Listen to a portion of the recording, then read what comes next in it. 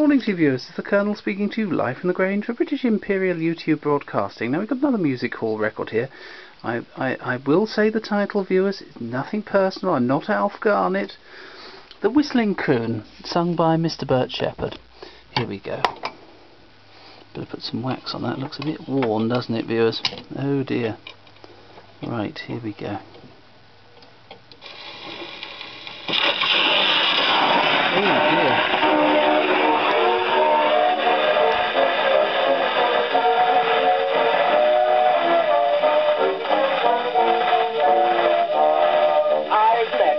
Some dirty funny fellows, but the funniest of all I know is the colored individual of George or alive. He's as black as any black crow. You may talk him to your part, but you'll never get a word from his dirty funny queer old. He's an athlete, double-jointed, hunky-punky moke, and he's happy when he whistles his tune.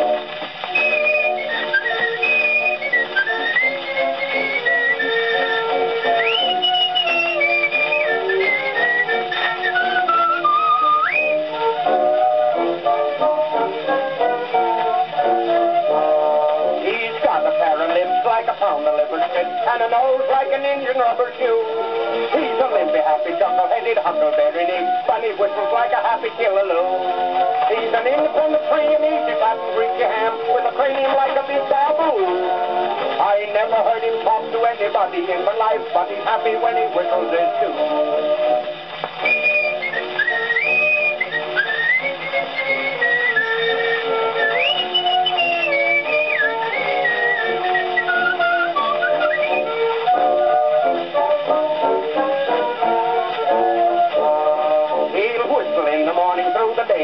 Night. He'll whistle to the children in bed.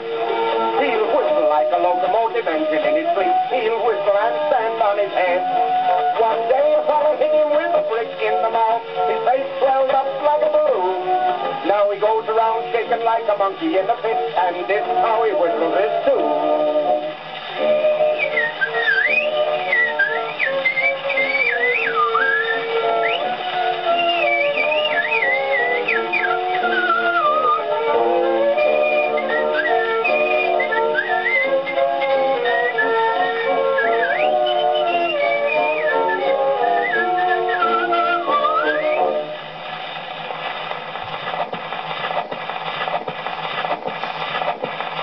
Well, I don't know, viewers. That's a fairly unpleasant record, really, isn't it?